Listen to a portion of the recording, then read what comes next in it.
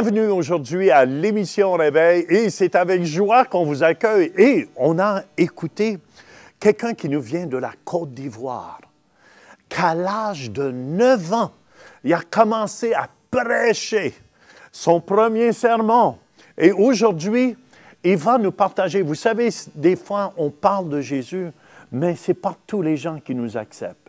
Et Marcel, j'aimerais que tu... On a avec nous Marcel Kouamena, excusez-moi, à la maison. Puis, euh, tu, tu partage-nous comment tu as été rejeté, Ouais. même dès ce jeune âge. Ouais, alors en fait, ce qui s'est passé, euh, je crois que j'étais sur l'école, mais il y a eu un processus de choses qui sont passées dans ma vie, dans le sens que euh, euh, je commençais à vivre des choses, je commençais à, à traverser des phases importantes qui m'amenaient dans un environnement où je découvrais même des choses que j'arrivais même pas à expliquer. Et, l'élément même qui a fait le déclenchement euh, un peu euh, gigantesque, c'est lorsque, euh, à une manifestation, les gens voulaient écouter. Dès l'école, ils voulaient écouter un peu comment ça se fait, qu'est-ce qui se passe. Et ils m'ont dit, bon voilà Marcel, tu peux parler. Donc je, commençais à raconter l'histoire des Batimé. J'ai dit, mais Batimé, Batimé était un homme. Je raconte l'histoire. Mais en racontant l'histoire, je pensais en fait exprimer un écrit comme quelque chose que je devais raconter simplement. Et je disais, oh, le Batimé était malheureux, Batimé était ci, Batimé était couché, Batimé attendait sur les gens pour manger, Batimé attendait sur les gens, sur les gens pour se déplacer, Batimé attendait sur les gens pour qu'on puisse l'aider, Batimé attendait sur les gens pour pouvoir être soutenu, Batimé attendait sur les gens pour être réconforté jusqu'à ce qu'il entend que le Fils de Dieu passe par là. Et il dit, Fils de David, aie pitié de moi.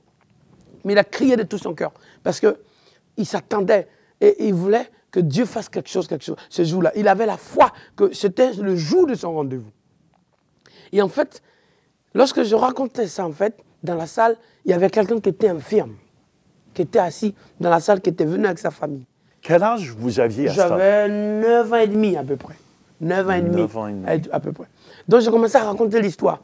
J'ai dit, mais waouh Mais lorsque Batimé a commencé à crier, d'autres ont dit, tais-toi, t'es impur. Mais moi, je, je racontais une histoire. J'étais dans mon histoire. Et tout à coup, l'infime qui était, enfin, un certain infime s'est levé. Moi aussi, parce qu'il avait le côté paralysé. Donc on l'a aidé à se tenir debout. Il dit, moi aussi, je vais être comme Batimé, je vais être guéri. Donc, moi, dans ma naïveté, j'ai dit, ben, écoutez, euh, excusez-moi, vous faites du désordre, vous ne vous appelez pas euh, Batimé, taisez-vous. Et Bartimée, c'est une histoire de la Batimé, Bible. c'est l'histoire de la oui, Bible. Oui, oui. OK Et, et- et je- donc, je racontais l'histoire de Batimé dans le livre de Matthieu. Et j'ai dit, mais Seigneur, mais tu le Dieu, je- je- je- avec, avec zèle et engouement. Et, et, euh, il, il se lève. J'ai dit, asseyez-vous. Donc, par respect, il s'est assis. Et à un moment donné, je finis l'histoire en disant, et, euh, euh, euh, Jésus a dit, euh, euh, que veux-tu que je fasse pour toi? Et Batimé dit, je vais voir. Et Jésus dit, alors, que cela te soit accordé. Donc, systématiquement, le monsieur s'est levé. Moi aussi, je vais être guéri. J'ai dit, mais mon attends, il y a un problème. Il s'appelle pas Batimé. Moi, je raconte mon histoire. Mais qu'est-ce qu'il fait là? Il fait quoi là, ce monsieur? Il est en train de me prendre la tête, il m'empêche de parler et tout. Qu'est-ce que ben, C'est comme ça, j'arrête. Je voulais même moi, me fâcher. Et, et, euh, et- et puis il a continué. Il dit Oh Seigneur, moi aussi je vais être guéri. Et puis tout à coup, la troisième fois, l'Esprit de Dieu est tombé sur lui. Les gens ont commencé à pleurer. Et la, paralysie est partie. Il a crié, il a sauté, il a commencé à courir dans la salle. La mère était tellement étonnée qu'elle été, elle est tombée, elle a perdu connaissance d'étonnement du miracle de Dieu que son fils devenu dans Et moi, j'étais là, je ne comprenais pas que c'est un miracle. Je me disais, il y a un problème. Et les gens étaient en train d'applaudir. Je dis, bah, arrêtez d'applaudir, je dois continuer de parler. Mais pour vous dire à quelle dimension Dieu se manifestait. Mais, ce qui m'attendait, ce n'est pas ce que j'avais prévu, la persécution. Pourquoi? Parce que je, je voyais, je découvrais un monde que Dieu est en train de, de forger, de bâtir dans ma vie. Mais à côté de ça, ma famille était déçue parce qu'elle s'attendait à ce que je sois à l'école, que je devienne peut-être un ingénieur, un médecin, un peu comme tout- que tout le monde a l'habitude de penser ou songer ou planifier, structurer et même projeter pour, ça, pour ses enfants. Mais il faut chercher souvent aussi la volonté de Dieu. Et les gens ont du mal à saisir le plan et la destinée de Dieu dans la vie. Ils veulent le choix et, et vraiment le désir de ce qu'ils pensent de façon personnelle, la, la chair. Et, euh, et, euh, donc, ils ont commencé à me dire, bon, voilà, on n'est pas d'accord. On n'est pas d'accord que tu, tu, tu, laisses les affaires de l'école pour s'occuper des affaires de Dieu, alors que j'étais très intelligent. Donc, en même temps, comme j'allais à l'école et que j'étais bien à l'école, il n'avait pas d'éléments euh, solides pour m'empêcher d'aller à l'église, étant donné que j'avais tout. Et puis, je travaillais à l'école. Mais, et puis, je faisais comme tous les autres enfants. J'allais à l'église, je revenais à la maison poliment. Mais ça les déplaisait. Ça les déplaisait parce que les gens venaient leur dire Ah, votre enfant, il va devenir un prêtre. Votre enfant, maintenant, oh, c'est devenu petit Jésus. D'une façon de se moquer. Et, vous voyez, c'est dans cet état, cet état d'esprit que je grandis, moi. Je grandis dans cet état d'esprit, mais ça a été plus fort parce qu'à un moment donné, ça fait une confrontation d'autorité dans, dans, ma famille. Parce que mes parents se sont dit, et, et j'ai une histoire un peu très compliquée parce que. Euh, euh, euh, après, j'ai appris que cette famille n'était pas ma famille, et puis machin, tout, etc. Et que tout le monde, en fait, personne ne voulait de moi. Parce que, bon, j'étais trop dans les histoires de Dieu, même gamin, tout ça. Bref, et tout ça, ça fait tout un micmac. Et le Seigneur a, a commencé vraiment à me mettre à part. Mais dans ce que j'ai vécu, dans cette famille, vraiment, je rends grâce à Dieu parce que euh, ça avait pour but de me détruire à 9 ans et demi. Est-ce que c'était tes parents naturels? Euh, ben, C'est ce que je pensais, moi. C'est ce que ah, je pensais. tu pensais ça, mais ce n'était pas ça. Ben, je sais pas. Franchement, c'est à, l'époque, je ne savais pas. Donc aujourd'hui, euh, il y a des choses que je, comprends parce qu'aujourd'hui, ce que Dieu m'a dit que j'allais faire le tour du monde, je le fais. Je vais en Asie, en Afrique, en Europe, Caraïbes, ici je suis. Donc euh, quand Dieu parle, il le réalise. Mais ce que je m'explique, c'est que le, le, le processus de l'action de Dieu dans ma vie m'a amené face à certaines persécutions il y a certaines, euh, certaines choses très dures vos, que Vos parents vous ont rejeté à ce moment Oui, à partir de ce moment, ils m'ont dit, écoute, voilà, euh, euh, il est impossible qu'on ait chez nous un curé, un pasteur, un prêtre, parce que nous, on, le met à l'école pour réussir. Voilà, les gens, c'est comme ça. Ils projettent ce qu'eux, ils veulent sur leurs enfants, mais ils oublient que ce que Dieu veut, c'est autre chose. Donc, ils se sont retrouvés en confrontation d'office. Mais comme l'Église était juste euh, un accessoire, un élément juste euh, euh, comme une sorte d'emblème, c'est-à-dire on va à l'Église, mais en fait on s'identifie avec une Bible le 31 décembre ou le 24 soir décembre. Donc après, on ne va plus à l'église. Donc c'était un peu difficile d'adapter et de vivre une compatibilité concrète de vie spirituelle. Donc je me retrouve en confrontation, en fait, d'orgueil, qu'on a décidé que tu ne vas pas à l'église, tu n'as pas le droit d'aller à l'église, point final. Même si tu, vas à l'école et tu viens te coucher. Donc, après, le portail chez nous qui se fermait, par exemple, d'habitude, les portes se ferment à, 22h, à 20h après le repas. On a décidé de fermer les portes à 18h à cause de moi. Donc, je rentrais de l'école à, 17h30, 17h45. Donc, normalement, à, 18h, je devais être à la maison. Mais comme 18h après, j'allais prier, donc ils ont décidé de consécuter tout ce que je faisais. Mais en me poussant, au lieu de me pousser à décourager, on me poussait à être, renforcé en Dieu. Parce que j'apprenais à découvrir que la confiance, euh, c'était difficile à avoir. Parce qu'on me demandait de faire ça, je faisais le double. On me faisait d'aller à tel lieu, je faisais plus que ce qu'on me demandait. Et je ne comprenais pas pourquoi on était déchaîné, tout simplement parce que je prie. Et à côté de ça, j'avais des cousins, de, tout un entourage qui étaient des voleurs. Personne ne disait rien. Et moi qui ne volais pas, qui n'étais pas bandit, qui ne me bat pas du tout, qui n'était pas coléreux, qui faisait tout, qui marchait comme ça. justement, c'est cette vie-là qui n'était pas. C'est le monde à l'envers. Le monde à l'envers. Mmh. Le cousin, il volait, il, touchait tout, il faisait des viols, enfin bref, entre gamins, il faisait des trucs bizarres, il, tuait les poulets, ils allaient casser tout, il poussait les chaises pour faire casser, il, brûlait même des, des, animaux, il cherchait le chat, il virait le chien, il abattait partout. Mais personne ne disait rien. Mais moi qui avais décidé d'être là tranquillement, de suivre Jésus, gamin, et de chercher à comprendre et d'être plus proche du pasteur. Et même la persécution allait plus loin, dans le sens qu'on a menacé le pasteur d'expulsion et de fermeture de son église à cause de moi. Donc, et il arrivait même en plein culte où on venait dire au pasteur, on bloque, les gens envoient des loupards, on bloque le culte. Et on me dit, tant que le gamin ne sort pas, il n'y a plus de culte. Donc la persécution était terrible. Là, ça m'a mené à dormir dehors. Et Jean, je vais dire quelque chose de très important une image qui m'a marqué dans ma persécution. On m'a appris pour m'empêcher d'aller à l'église un week-end, un vendredi soir. On m'a attaché les pieds et les bras pour me punir. Il pleuvait. Il ne faisait pas aussi froid ici, comme ici, mais il pleuvait. Et on m'a attaché sur euh, la racine d'un manguier. Je ne sais pas si vous connaissez les manguiers ici. Euh, on peut dire l'érable, hein, hein, voilà, un arbre l'érablier, on dit. Oui, oui, oui, l'érable. Voilà, l'érable. Donc, on m'attache comme ça un arbre qui est très commun en Afrique, c'est un manguier, avec les bras et les pieds, pour m'empêcher de, partir prier. Et on m'a laissé toute la nuit, de 22h jusqu'aux deux, deux nuits, et, euh, deux jours, une nuit pleine, sous la pluie. Et c'est là qu'un vieux est passé, il m'a dit, jeune homme, c'est même pas parce qu'on est contre, que, que les gens sont contre, vos parents sont contre que vous priez, c'est parce que vos prières les dérangent. C'est là que j'ai compris, j'ai commencé à comprendre un peu. Quoi. Et euh, la persécution est passée par là, avec des couteaux, avec des menaces de mes machins, de mettre un couteau sur le ventre. J'ai une trace de, couteau sur mon ventre là, où euh, le vieux m'a piqué là pour voir. euh, Il me dit voilà, tu as vu ton sang qui coule là, désormais c'est ton intestin, je vais enlever. Donc, tout ça c'était des, des intimidations jusqu'à ce que certains actes soient posés.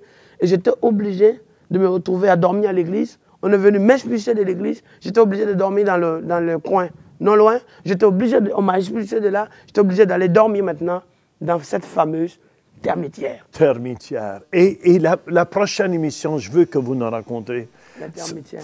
Dormir, peut-être euh, les Canadiens, on, on connaît moins ça, mais une termitière, ça, ça peut avoir dépend. 4-5 pieds de haut Ouais, et c'est- fait de terre? Ouais, c'est fait de terre. Cette termitière, c'était, ce sont des maisons, maisonnettes, des petites fourmis Et, qui et tu conçoivent cette- dormais là-dedans? 24 heures sur 24. Et- Parce qu'à l'intérieur, il y a- il y a du creux. Parce que quand il y a les termites, lorsqu'il y a les termites encore, c'est bien rempli. Vous, allez nous raconter ça à la prochaine émission. et, moi, je vous dis, écoutez bien, peut-être que vous sentez vous n'avez pas de place dans ce monde. Peut-être un peu comme Marcel se sentait, se sentait rejeté. Mais moi, j'ai une bonne nouvelle pour vous aujourd'hui. Jésus ne vous rejette pas. Jésus vous accueille. Il vous ouvre grand les bras. Il vous dit qu'il vous aime. Il vous attend, Jésus. Jésus vous aime tellement aujourd'hui. Donnez-lui tout votre cœur. Et moi, je vous dis que le Seigneur a une place pour vous, qui a préparé pour vous. Amen. Et même téléphonez-nous au numéro qui passe au bas de l'écran si vous avez besoin de prière. Marcel, merci tellement. Et la prochaine émission, on va parler de cette termitière davantage. Que le Seigneur vous bénisse. Amen.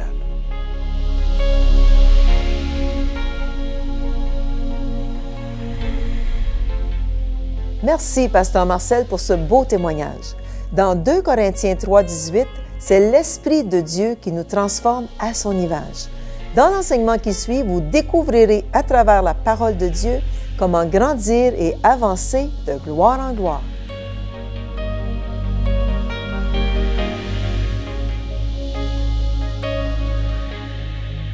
Dieu nous a créés, frères et sœurs. Dieu a une vision.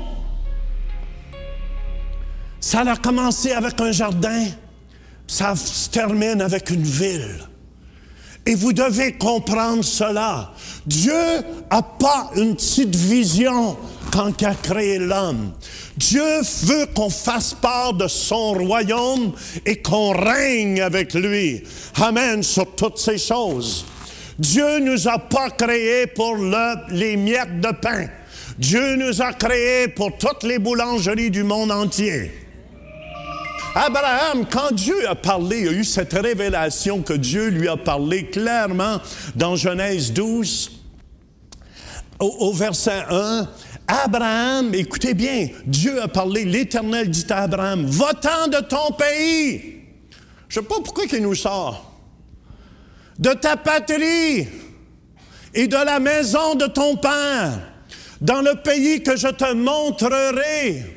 Amen. Quand tu as une révélation de Dieu, tu es sûr que c'est Dieu.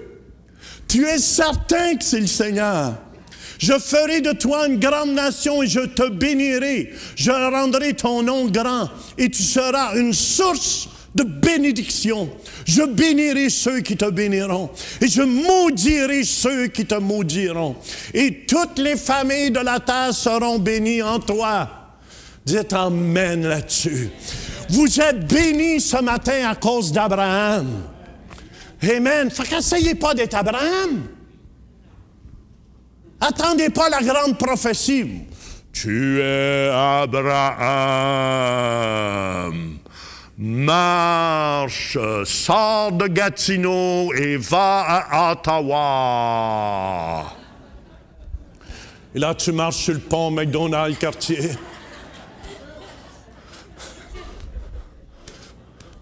Frères et je vais parler de ça. Ça, c'est la religion qui cherche les positions.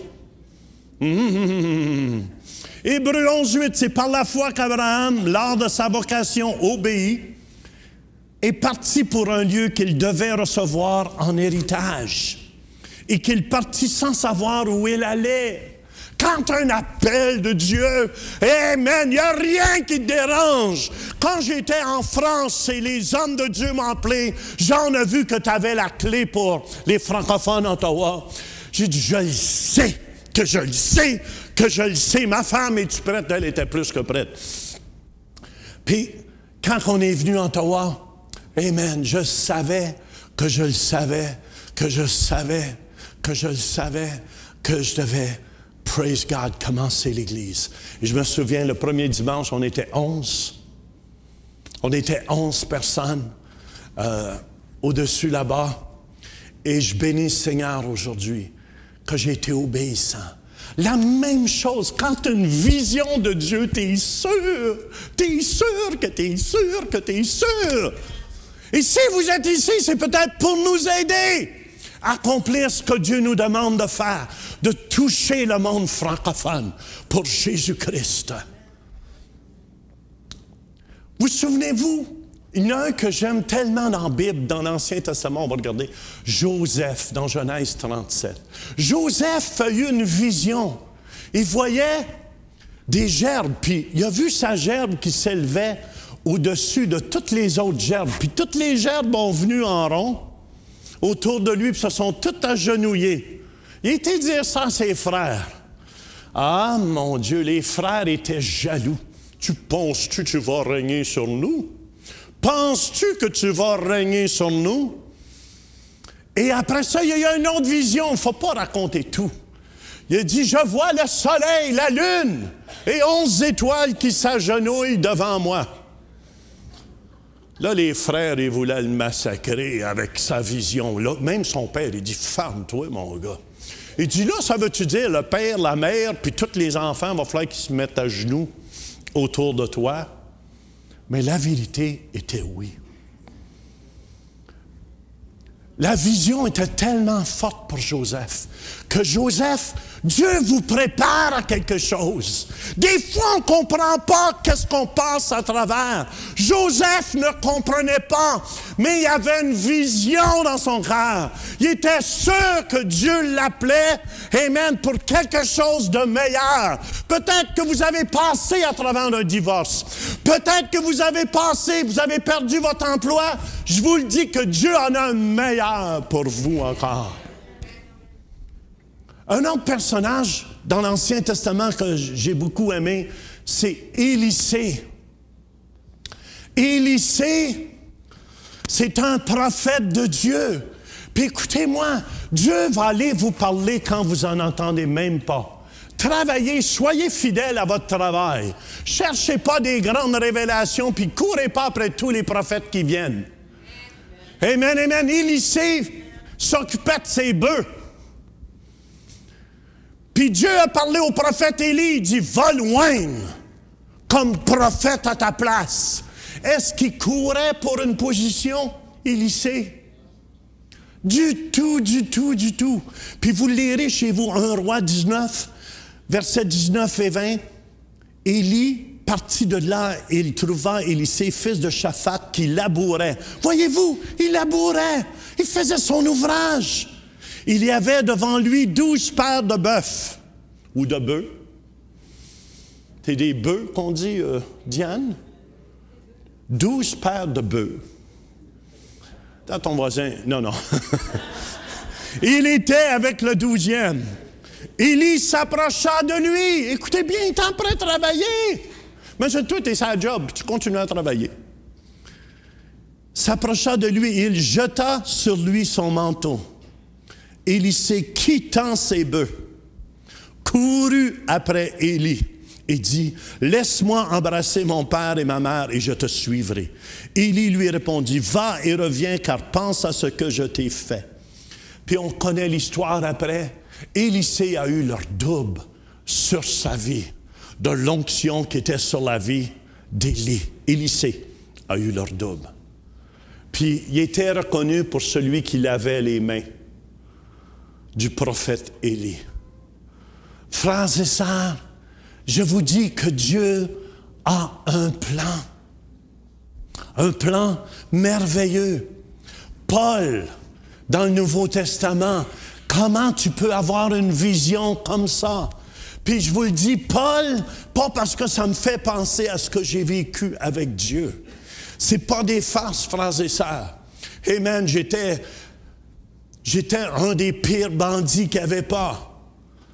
J'étais croche, j'étais malhonnête, j'étais fautif, je chantais dans les bars, dans les nightclubs. Puis jusqu'à temps, un jour, Jésus est venu me chercher. Et je me souviendrai toujours, acte 9, Paul, au verset 3, l'expérience qu'il a eue. Et je vous dis, comme il était en chemin et qu'il approchait de Damas, tout à coup une lumière venant du ciel resplendit autour de lui verset 15. Mais le Seigneur lui dit, va, car cet homme est un instrument que j'ai choisi. Il a parlé à Daniel, c'est un autre homme, pour porter mon nom devant les nations, devant les rois et devant les fils d'Israël. Acte 9, 20. Et aussitôt il prêcha dans les synagogues que Jésus est le Fils de Dieu. Et je me souviendrai toujours, je ne veux pas me comparer à Paul. Je, un millième de qu'est-ce que pu être. Mais je veux vous dire, comme enfant de Dieu, jamais j'oublierai le jour où je m'en allais avec ma voiture. Et une lumière est venue. Et cette lumière était tellement grande. Il y a quelqu'un qui a pris le volant de ma voiture. Je m'en allais pas à Damas, mais je m'en allais à Greases Point où j'habitais. Puis, toute ma vie s'est déroulée devant mes yeux, devant cette lumière. Cette lumière. Et je savais que Dieu m'appelait. Je savais que Dieu m'appelait à prêcher la bonne nouvelle. Et là, j'ai vu comment pourri j'étais à ce moment-là, face à cette lumière-là. Et toute ma vie s'est déroulée devant mes yeux. Je me souviens, j'ai pleuré. J'ai pleuré toute l'après-midi. Toute l'après-midi, j'ai pleuré parce que j'ai vu comment misérable j'étais à côté de la grandeur de Dieu. Et peut-être une semaine, deux semaines après, trois semaines, je me lève un matin, ça me disait, va, va, va, parcourir la terre, va, va, va. J'ai rien inventé, dire à tous tes frères, va enseigner, exhorter et reprendre, ne laisse personne d'entre eux te mépriser. Va, va, la, la, la, la, la, la, va, va. Et c'est ce que j'ai fait. Partir de ce moment-là, j'ai commencé à prêcher l'Évangile et j'ai prêché l'Évangile. Et je vous dis, il n'y a rien de plus glorieux lorsque le Dieu Tout-Puissant vient, te visite et il t'appelle à faire quelque chose. Et jamais je pensais, j'étais un petit gars de la campagne. Amen, on était dans la région d'Oxbury. J'avais jamais été plus loin que Sainte-Sophie où mon grand-père habitait. On restait pris dans les tempêtes de neige l'hiver. Puis, Amen. Et je pensais jamais que Dieu m'amènerait partout dans le monde entier prêcher son nom. Et aujourd'hui, à travers l'Internet et la télévision, Amen, les portes s'ouvrent partout de plus en plus dans le monde entier. Et je veux vous dire, frères et sœurs, c'est Dieu qui appelle. Tu ne peux pas t'appeler toi-même. Est-ce que vous me suivez? C'est pas moi qui sais t'appeler. Si je fais pas ce que je fais, malheur à moi. Je suis béni quand je fais l'appel de Dieu. Et plusieurs d'entre vous, vous êtes appelés ici. Peut-être appelés à servir. Je suis serviteur de Dieu. Vous n'êtes pas obligé d'être Abraham, Isaac ou Jacob. Est-ce que vous me suivez, frères et sœurs? Si vous servez avec moi, Amen, pour toucher le monde francophone, vous allez avoir la même récompense que moi. Si vous comprenez les Écritures, Et, mais je veux vous partager le plus grand, le plus grand obstacle que j'ai rencontré à la vision que Dieu m'avait donnée, à la révélation que Dieu m'avait donnée. Savez-vous, c'était qui mon pire ennemi dans toutes ces années-là? C'était la religion. La religion visite la chrétienté. Et, je vous dis, les plus grands ennemis que j'ai rencontrés, c'était à travers de ceux qui allaient dans les églises. Ceux qui allaient dans les églises et ce qui se disaient chrétiens. Mais le E était parti au bout, à la fin de chrétien.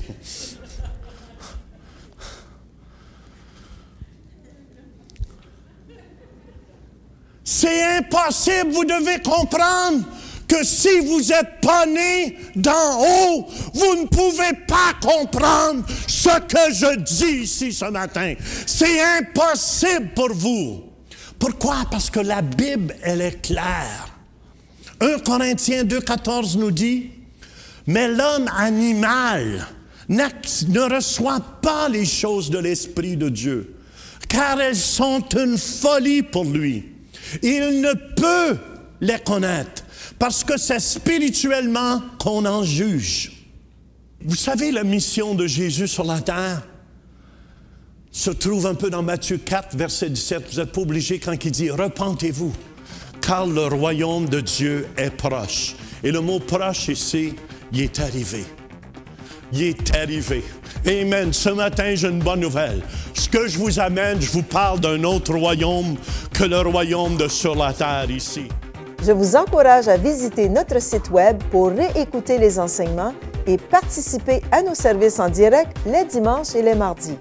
Vous pouvez aussi devenir partenaire de l'émission Réveil en semant financièrement. Pour un don de 25 ou 20 euros ou plus par mois, vous recevrez le DVD du mois ainsi que notre lettre de nouvelles. Vous pouvez maintenant donner en ligne par Visa et Mastercard ou nous envoyer votre don directement à l'adresse qui paraît à l'écran. En donnant, vous nous aidez à propager la bonne nouvelle dans le monde francophone. Merci de votre générosité et continuez à marcher de gloire en gloire.